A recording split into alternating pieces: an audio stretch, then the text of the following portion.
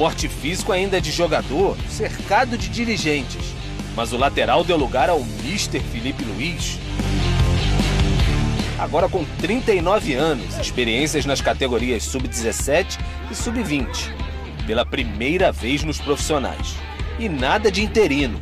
É técnico com contrato assinado até o fim de 2025 e já estreia nesta quarta contra o Corinthians pela Copa do Brasil no Maracanã. Impossível dizer não para o Flamengo. É, é um desafio muito importante, onde não teve nenhum tipo de negociação, porque obviamente que eu que eu tô onde eu quero estar. Tá. Felipe Luiz tem cinco anos de Ninho do Urubu. Conhece como poucos o CT, tanto como treinador quanto como jogador conquistou vários títulos com atletas que hoje estão no elenco: Gerson, Arrascaeta, Bruno Henrique, Gabigol. Mas quem acha que essas relações podem ajudar com o técnico no dia a dia, facilitar uma entrada no time, está completamente enganado. Tem os prós e contras, né? É, os prós é que eu conheço esse grupo é, como ninguém.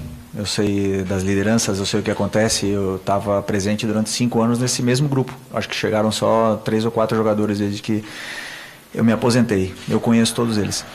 E eu sei que vou tomar decisões que vão incomodar alguns jogadores e que alguns deles é, vão ficar bravo comigo. Mas não é com o Felipe Luiz, pessoa, é com o Felipe Luiz, treinador. Eu sei é, da capacidade que tem o Gabriel, e não importa, como você falou do tempo de contrato, não importa se são um, dois meses, dois anos, cinco anos, eu vou dar a vida não só por eles, senão por todos esses jogadores para poder melhorá-los é, individualmente e fazer para que eles joguem é, de uma forma é, coletiva é, organizada, né? que ele seja uma peça dessa engrenagem é, que faça a equipe funcionar.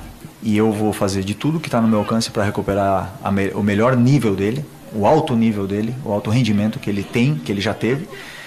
E assim que ele começar a falar no campo, o Gabriel que eu conheci, que ele começar a ser o Gabriel que eu conheci, é, com certeza ele vai recuperar os minutos que ele, que ele precisa para poder ter uma sequência e, e desempenhar o melhor futebol dele. O lateral Felipe se destacava pela inteligência e leitura de jogo. O técnico promete não ficar atrás. O motivo de seguir a carreira, garante, é Diego Simeone, seu comandante nos tempos de Atlético de Madrid. Já o modelo de jogo pode beber da fonte de Jorge Jesus. Um Flamengo agressivo, vertical. Não, realmente dois treinos, é pouco tempo, todo, quem está nesse mundo sabe, né? Mas que, é, como eu falei, fazer alguns ajustes necessários nessa equipe e, e pouco a pouco implement, ir implementando esse meu modelo de jogo, né? Que é que, que eu quero que seja um, um time muito impressionante, quero que seja um time muito é, incômodo para o adversário, que saiba competir muito bem por todos, em todas as fases do jogo e que seja um time compacto. O ambiente parece já diferente. E Tite foi um trecho que passou no livro Rubro Negro em 2024. A partir de agora, uma nova trajetória do Flamengo e de Felipe. Tudo novo de novo. É isso, o homem chegou, quer dizer, ele estava, né? É. Só de repente está frequentando salinhas diferentes ali no Ninho do Urubu. A gente já vai falar sobre a história do Gabigol, que obviamente é, falou coisas muito legais. Mari, começando contigo, não é interino. Não. Né? É Contrato até 2025. Até o fim de 2025. Queria que você falasse sobre essa não sei se a palavra pode ser a aposta do Flamengo por ele ser jovem.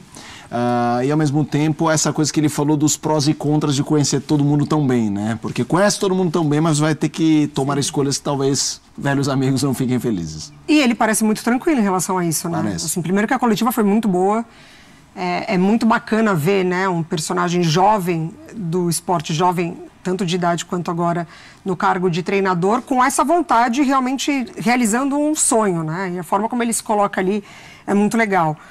É, e ele parece super confortável nesse sentido, assim. Ou pelo menos ele demonstra ter uma segurança do que hoje é o Felipe Luiz. Hoje ele é o treinador e se ele precisar contar com o jogador X ou esperar um pouquinho para contar com o jogador Y, independentemente do tamanho, parece que está tudo bem ali, né? É, na visão dele, assim. Ele, ele demonstra estar muito seguro com essa posição. Então, eh, não demonstrou em nenhum momento ali da coletiva insegurança com o cargo ou nervosismo Não, ele se coloca é, muito consciente do tamanho agora do desafio que, que ele terá, e claro que isso a gente vai, vai conseguir ver ao longo das partidas.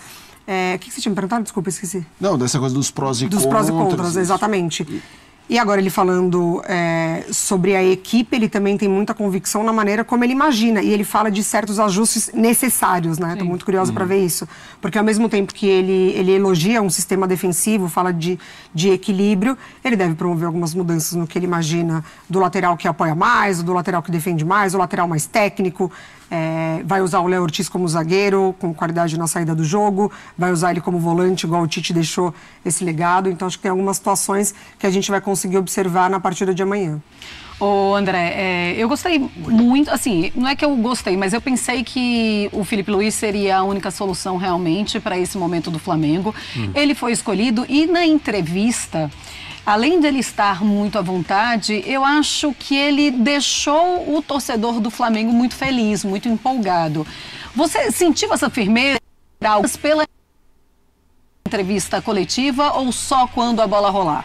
Não, a gente vai, a gente pode falar sobre a entrevista, né? É o que a gente tem nesse momento. A gente não viu o time do Felipe jogar ainda. É, daqui a algumas horas a gente vai poder falar sobre o primeiro jogo do time dele. E é natural que ele se sinta confortável ali.